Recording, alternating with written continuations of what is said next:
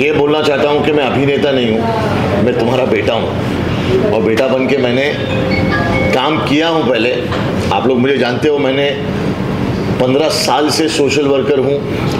मैंने अंबानी से लड़ाई लड़ी, मैंने अल्लाह के बंदे हर हॉस्पिटल में इलाज कराया जोमेटोज के बच्चों को इंसेंटिव दिलाया।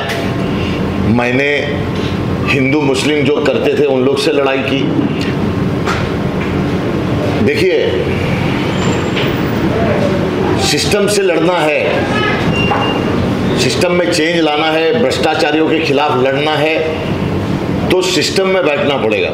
लोगों ने मुझे बिग बॉस में बहुत पसंद किया। बिग बॉस देखते थे, बहुत पसंद करते थे। लेकिन मैं ओरिजिनल बिग बॉस के घर में जाके आया हूँ, जहाँ पे सिस्टम समझ में आता है कि एक्चुअली सिस्टम है क्या। तो मुझे ऐसा लगा कि मुझे बाहर आके डर के बैठ जाने से अच्छा है, थोड़ी बहुत ज़िंदगी बची है तो लड़के मर जाते हैं।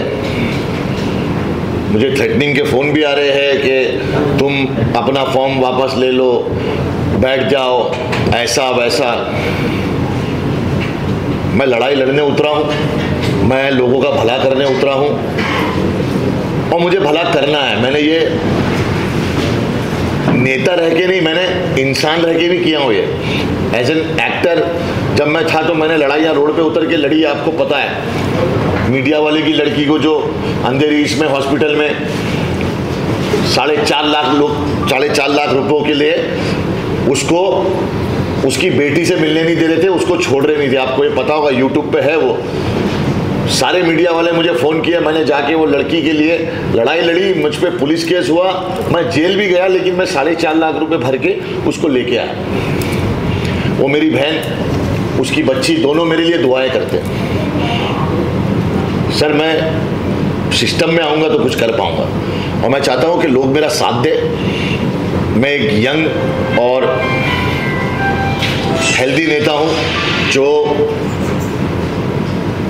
लड़ाई लड़ेगा ग्राउंड पे उतर के लड़ेगा और घर घर जाके सबको समझाएगा कि हमें किस चीज़ की ज़रूरत है। अभी हमें मंदिर, मस्जिद, ये चीज़ों की ज़रूरत नहीं, अभी हमें स्कूल की ज़रूरत है। बच्चे पढ़ेंगे तो उन्हें समझ में आएगा। कौन से घर के अंदर ऐसा है कि आप देखिए, मुझे बहुत सारे हिंदू मिलते हैं, उन्होंने गीता नहीं पढ़ी। बहुत सारे मुसलमान मिलते हैं जिन्होंने कुरान नहीं पढ़ा।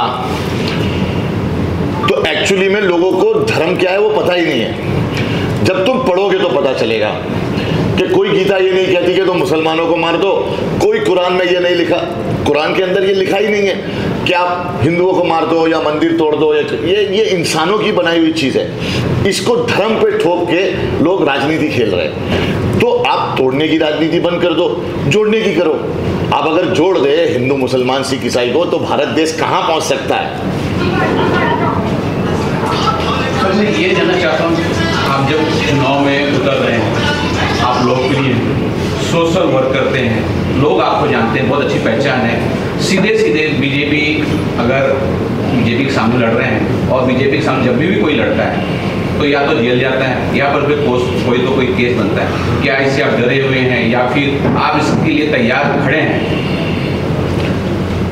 सी, कहीं ना कहीं बीजेपी ने मेरा डर निकाल दिया है। मैं थैंक यू बोलना चाहूँगा उनसे कि देखिए, मैं, मेरे पे नौ दस झूठे मुकदमे हैं, जिसके कोई हाथ पैर ही नहीं है। उसके बाद मैं जेल भी गया मैंने सहा भी, मेरी फैमिली ने भी सहा। क्या अपने राइट्स के लिए आवाज़ उठाना, ये गलत है? ये संविधान में मेरा हक है कि मुझे जो सही नहीं लगता, मैं वो बोल सकता हूँ। क्या मेरे बोलने से आपको इतना फ़र्क पड़ रहा है कि आप मुझे जेल में डाल दे रहे हो? मैं बोलता रहूँगा, मैं फिर आ गया हूँ, मैं फिर बोलूँगा, मैं फिर लड़ूँगा। मैं लड़ता रहूँगा, कम से कम मुझे शर्म तो नहीं आएगी। जब मैं सोने जाऊँगा कि, यार एजाज, देश में तेरी बहनों का बलात्कार हो रहा था, देश में लोग हिंदू मुसलमान कर रहे थे, देश में पढ़े लिखे एमबीए किए हुए बच्चे जोमेटोज में जाके वेटर बन के खाना दे रहे हैं उनके माँ बाप उनको बचपन से अपनी ज़िंदगी सेक्रीफाइस कर दी, अपना खून पसीने का पूरा कमाई निकाला, उसको पढ़ाया। और वो पढ़ के उस लायक है कि वो कहीं बड़ी जगह नौकरी कर सके। उसको नौकरी नहीं है, वो जोमेटोस में अपने माँ बाप के सामने खाना लेके देने जा रहा है। उस माँ बाप के दिल पे क्या बीतती है ना, मैं जानता हूँ। मैं भी एक बाप हूँ। अपनी ज़िंदगी की सारी कमाई लगा के उसने अपने बच्चे को पढ़ाया और उसके बाद अगर वो जोमेटोज में जाके खाना दे रहा है ना, वही जोमेटोज वाला इनसे काम करा के इनका इंसेंटिव भी नहीं दे रहा था। मैंने लड़ाई लड़के उनका इंसेंटिव दिलाया, पाँच हज़ार बच्चे, वो पाँच हज़ार आदमी बोले, भाई, तुमको ही वोट करेंगे। अभी इन लोग ये बोलेंगे, एजाज खान या तो किसी को जिताने आया है या किसी को हराने आया है। मैं खुद यहाँ पे लड़के जीतने आया हूँ। ना मैं किसी को हराने आया हूँ ना मैं किसी को जिताने आया हूँ। तीन चरण के ऑलरेडी चुनाव हो चुके हैं तो आपने ये पहले से प्लान बना के रखा हुआ था या सडनली दो चार दिन में? अरे यार मैंने प्लान बना के एमएलए का इलेक्शन लड़ा।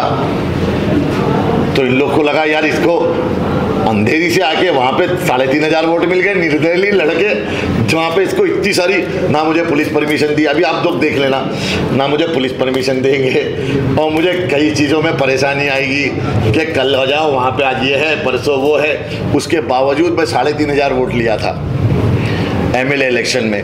अब मैं मेहनत करूँगा, क्योंकि इन्होंने मेरे 26 महीने तो ऐसे ही ख़राब कर दिए। 26 महीना मेरे को यूनिवर्सिटी में भेज दिए।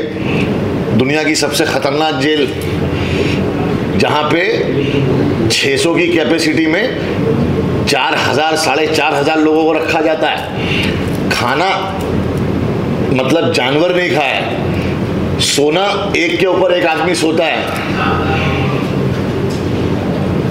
तो ये सब चीज़ें मैं देख के आया हूँ। तो अब मुझे डर नहीं लगता।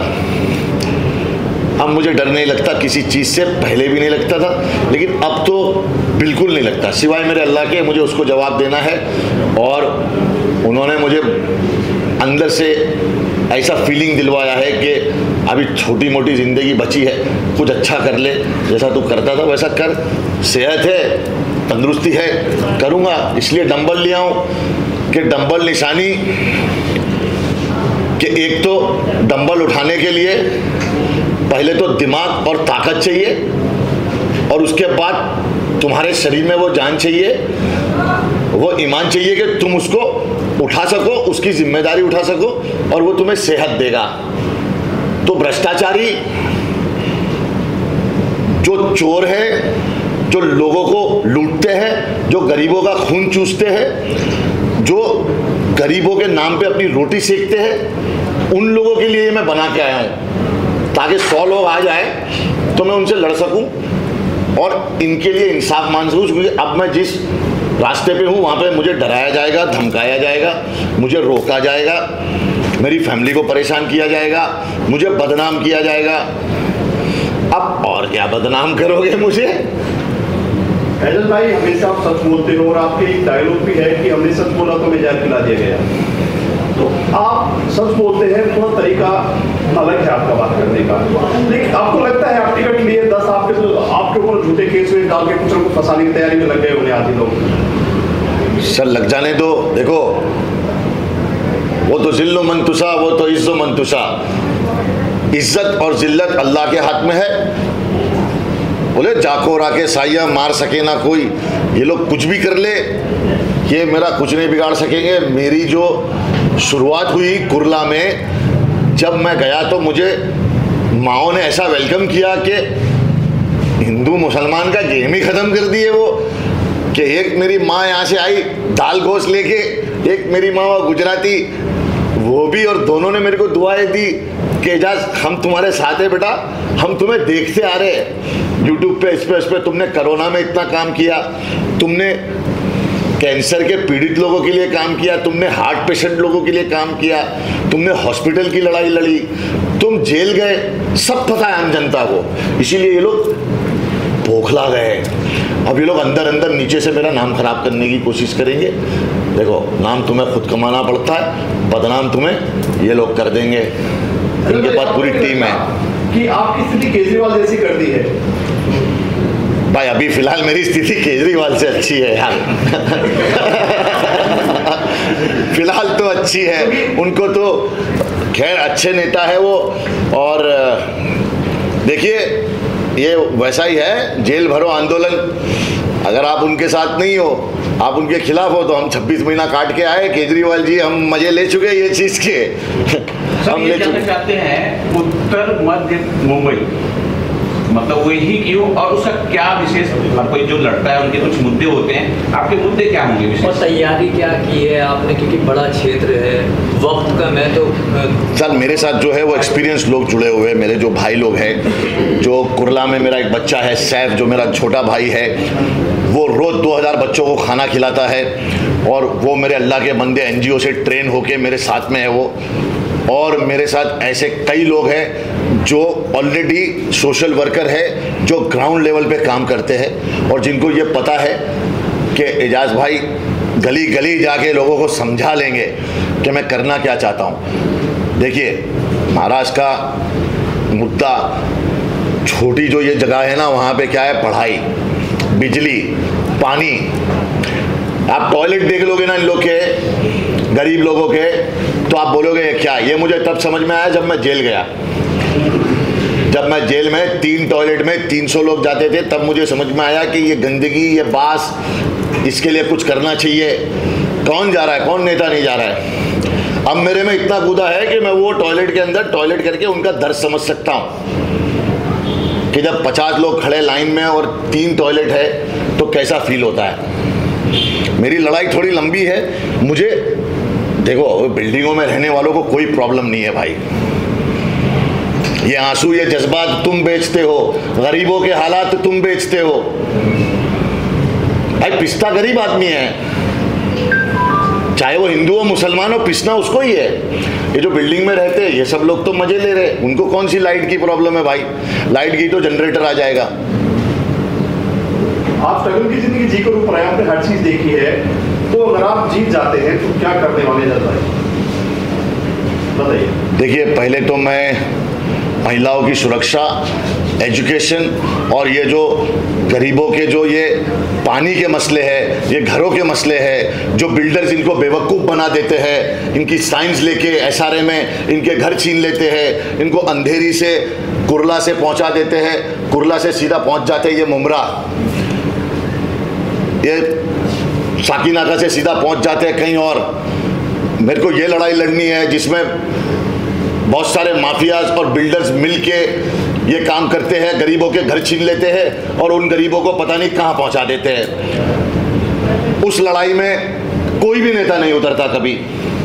आप मुझे एक नेता बता दीजिए, वो लड़ाई में वो नेता हो, क्योंकि बिल्डर और माफियाज, ये दोनों मिलके लैंड गरीबों का ले लेते हैं, जो सालों से वहाँ रहते हैं उनका, और उसके बाद कोई उनके लिए लड़ने वाला नहीं है।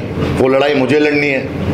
आप अपना आप इसको मान रहे हैं? एनडीए को अपनी चुनौती मान रहे हैं इंडिया गठबंधन को अपनी चुनौती मान रहे हैं? मैं अपने आप को ही अपनी चुनौती मानता हूँ। मेरे अंदर क्या कमियाँ हैं, मैं उसको सही करके ये पूरे मेरी टीम के साथ मेहनत करूँगा। मैं देख ही नहीं रहा हूँ, लोग कहाँ जा रहे कौन से नारे लगा रहे क्या कर रहे अगर मैं उनको देखने बैठ जाऊँगा तो फिर मैं हाँ, काम क्या करूँगा? उन लोग मुझे ज़रूर देख रहे हैं ये समझ में आ रहा है मुझे। भाई किसी पार्टी ने ऑफ़र किया आप निर्दलीय खड़े हुए हैं किस पार्टी ने आपको ऑफ़र किया सामने से? किसी पार्टी से लड़ते तो और आसान हो जाता आपके लिए। हाँ किसी पार्टी को अरे पार्टी मुझे लेना नहीं चाहती पवन जी। हाँ जी। देखिए पार्टी घोड़ों को रखना नहीं चाह रही गधों को ही भगाना चाह रही है। और या तो फिर खच्चरों को भगा रही है। घोड़े उनको चाहिए नहीं क्योंकि घोड़ा भागेगा और जॉकी ठीक नहीं है। घोड़ा भागा तो चौकी गिर जाएगा। तो इसलिए अंधा राजा और काणा सिपाही ऐसा हो गया है। देश को ये लोग क्या कर रहे हैं? देश के चार पायों को पहले हिला रहे अरे भाई इंडिया पाकिस्तान की डिबेट हमें क्या करना रे भाई? पाकिस्तान में क्या हो रहा? हमको हिंदुस्तान में क्या हो रहा? उससे लेना देना हमको।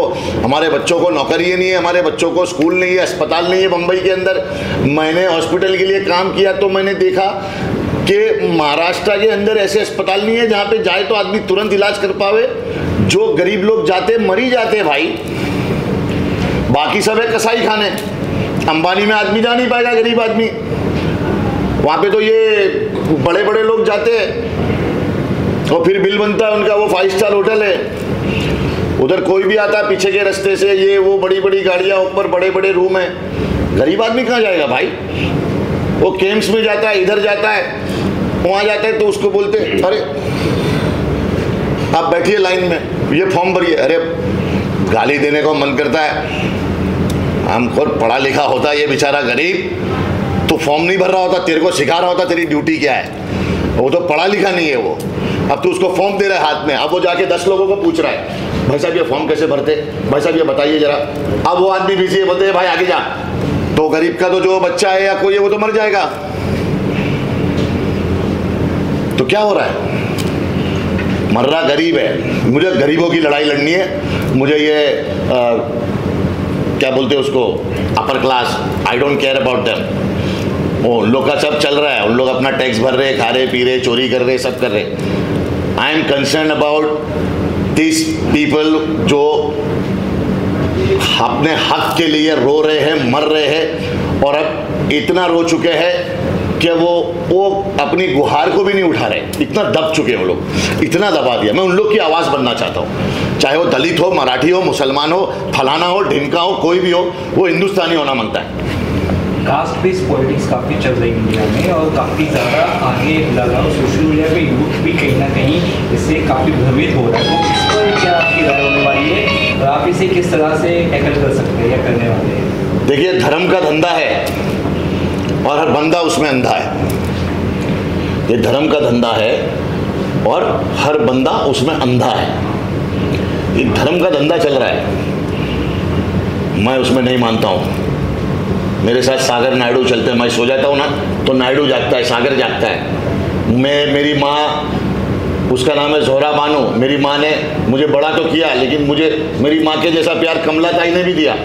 वो मराठी है। भाई, शिवाजी की सेना में, शिवाजी, छत्रपति शिवाजी छत्रपति शिवाजी की सेना में सबसे ज़्यादा मुस्लिम थे। जब वो सो जाते थे तो मुस्लिम जागते थे। आज हमारे यूथ को ये लोग क्या दिखा रहे हैं? उनको ये दिखाओ ना कि भाई मराठी और मुसलमान भाई है। एक ही पार्टी बना लो, फिर तुमको बीजेपी से लड़ना है तो। तुम क्यों चाह रहे हो कि मैं शिवसेना तो मेरे को सीट मिल जाए। मैं कांग्रेस, मैं ये, मैं वो। अरे तो तुम सब लोग इनसे लड़ाई लड़ रहे हो तो तुम सब एक हो जाओ। अगर मराठी और मुसलमान महाराष्ट्र में एक हो जाए तो कोई और जीत सकता है? तो ये राजनीति है और ये धर्म पे हो रही है। तू मला वोट दे तू तू इसको दे, तू मेरे को दे भाई, मैं मुसलमान हूँ तो मेरे को दे। मैं ये बोल रहा हूँ, मुझे वोट दो अगर तुम्हें लगता है कि मैं तुम्हारे लिए काम कर सकता हूँ, लड़ सकता हूँ तो मुझे वोट दो। और ऐसा नहीं है भाई, अभी मेरे भी कुछ मौलाना लोग अभी ये फैला रहे होंगे वहाँ पे एजाज खान को वोट नहीं देना। वोट कांग्रेस को देना। क्योंकि हमें ऐसा लगता है एजाज खान वोट काटेगा। अरे एजाज खान, छब्बीस महीना जेल काटा, मौलाना। तुम थे क्या उधर? एक दिन में हाँ हाँ। ताजुद पढ़ते और फिर सॉरी बोलते कि ये क्या हो गया? हमने सब लड़ा है तो मेरे भाइयों, इस बार तुम्हारे दिल की सुनना, मौलाना बोले, पंडित बोले, किसी की मत सुनना। अपने दिल की सुनना और देखना कि कौन तुम्हारे लिए भाग के चेंज ला सकता है। राष्ट्रवाद पे वोट मत देना, मज़हब पे वोट मत देना मेरे भाई। धर्म के लिए मत जियो, देश के लिए जियो। धर्म के लिए मत खेलो, देश के लिए खेलो। धर्म के लिए वोट नहीं, देश के लिए वोट। देना है दो। आप लोग चाहोगे तो सब यंग नेता होंगे, कोई भी डायबिटीज़ ये, वो कैंसर लॉन्सर वाले नेता नहीं होंगे। ये आपके हाथ में है। यंगिस्तान है हमारा, हिंदुस्तान, क्या हो गया? है सर मेरे साइड से एक लास्ट सवाल ये है। जी। लोकसभा का जो इलेक्शन होता है वो प्रधानमंत्री बनाता है और बीजेपी का और उनके सहयोगी का क्लियर है कि नरेंद्र माननीय नरेंद्र जी को बनाना है। विपक्ष का भी क्लियर नहीं है। नरेंद्र माननीय नरेंद्र मोदी जी का जो कार्यकाल था क्या आपको पसंद नहीं आया? इसलिए आप चुनाव लड़ रहे हैं। क्या कुछ बोलना चाहते हैं? श्री माननीय नरेंद्र मोदी माननीय नरेंद्र दामोदर दास मोदी। वो बोल रहे थे मंगल सूत्र पे कोई बात बोल रहे थे। हमारे प्रधानमंत्री जी। और मंगल सूत्र क्या आपको लगता नहीं है कोविड वैक्सीन से जितनी औरतों के पति मर गए? उनका मंगलसूत्र नहीं है। क्या आपको लगता नहीं है जितने किसानों ने फांसी लगा ली, आत्महत्या कर ली? क्या उन लोग का मंगलसूत्र नहीं है, उनकी बहू बेटियों का। क्या जितने जवान देश के लिए बॉर्डर पे शहीद होते हैं, उनकी बीवियों का, उनकी बच्चियों का मंगलसूत्र नहीं है? देखिए, किसान और जवान देश के रीढ़ की हड्डी है।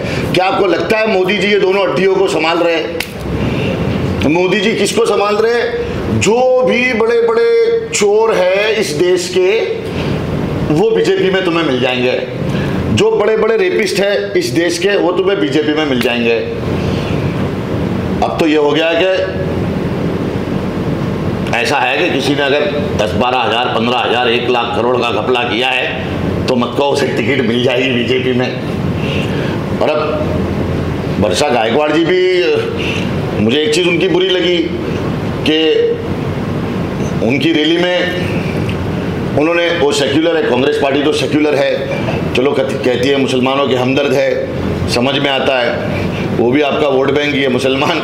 नहीं तो आप मुसलमान को सीट दे देते, किसी एमपी मुसलमान को खड़ा करते, लेकिन वो आप वोट बैंक ही है, वो आपका खेल है। तो आप अपनी रैली में जय श्री राम, जय श्री राम के नारे लगवा रहे थे। ये सेक्युलरिज्म नहीं हुआ तो फिर आप खुल के जो है, वैसे वोट मांगिए। ऐसे चल के वोट मन मांगिए। तो धर्म के नाम पे राजनीति करना बंद कर दीजिए। देश के लिए कुछ कर सकते तो आप इसमें आइए वरना आप लोगों को कोई हक नहीं है। जस भाई चुनावी एरिया अगर देखा जाए तो वो काफ़ी बड़ा है और टीम बहुत कम है। तो किस तरह से उसे कवर करने वाले हैं लोगों तक कैसे पहुँचने वाले हैं प्रचार किस तरह से करने वाले हैं और कौन कौन आपके साथ प्रचार अच्छा एक बात बताओ। अगर मैं तुम्हें 26 महीना एक जगह पे बिठा दूँ उसके बाद बोलूँ बाहर आ जा। तो तू थकेगा रुकेगा। नहीं रुकता आदमी, भाई।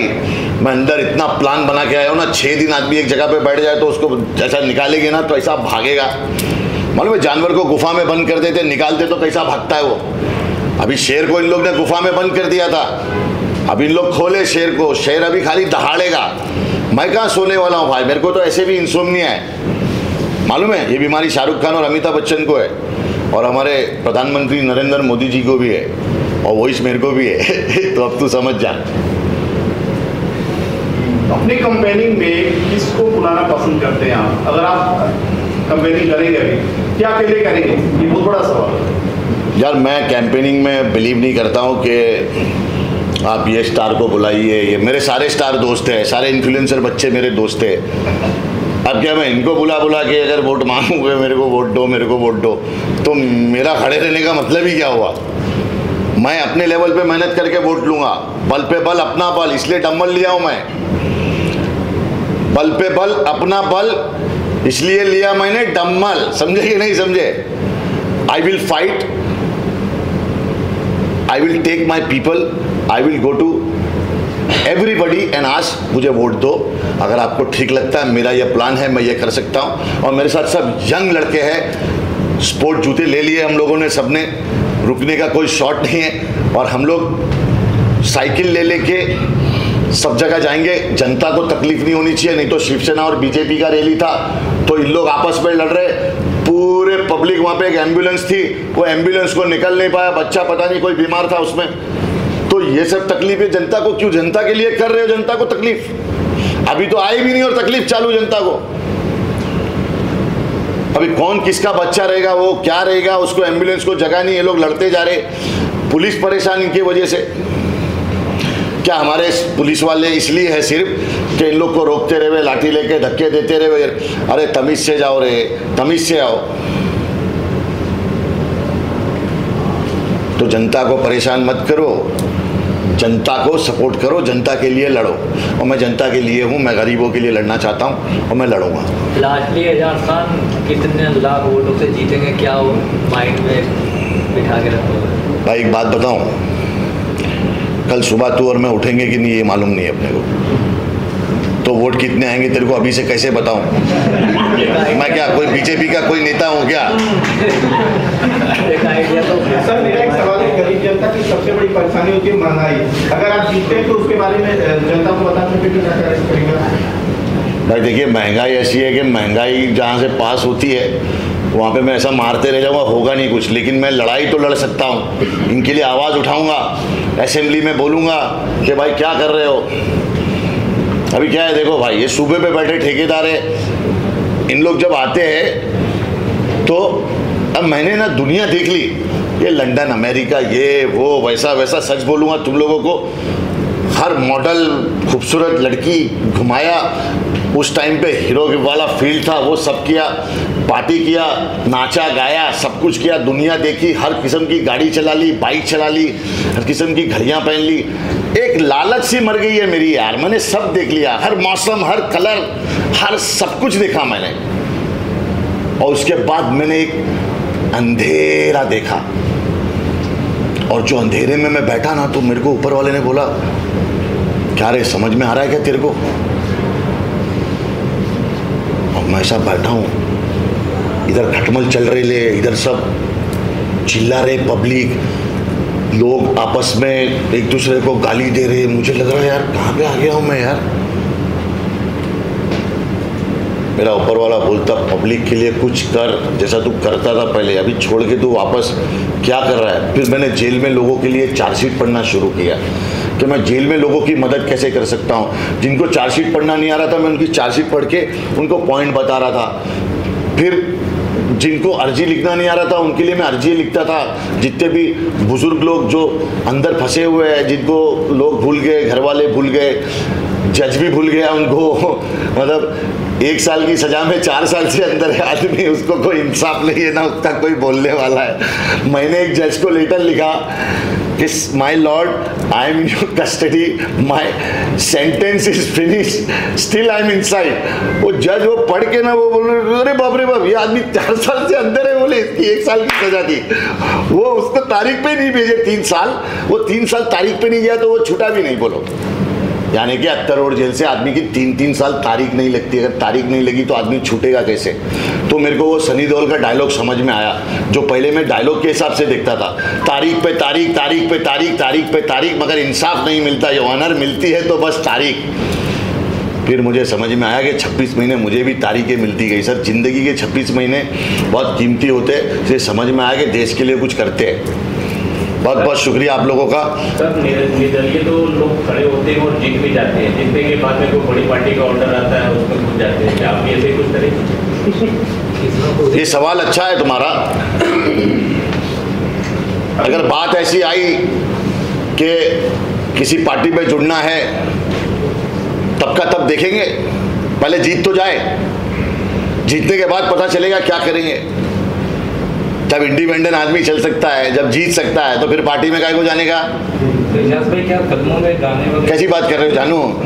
खुद के बल पे जीत के अरे बाकी इन लोग बोले हमारे पास आ जाओ। अरे चल रहे हैं अकेला भी तो आदमी सूट पहन के जा सकता है कि I am here sir I am also member of parliament ये तो मेरे भाइयों के हिसाब में है कि भाई ना डायबिटीज़ है ना शुगर है ना कोई बीमारी है अल्हम्दुलिल्लाह और ना कोई ऐसी कमज़ोरी है ना कोई डर है कि बीवी बच्चे सब अल्लाह भरोसे छोड़ दिया हूँ मैं। जो होगा देखा जाएगा। लड़ाई लड़नी है जान जाएगी देखी जाएगी।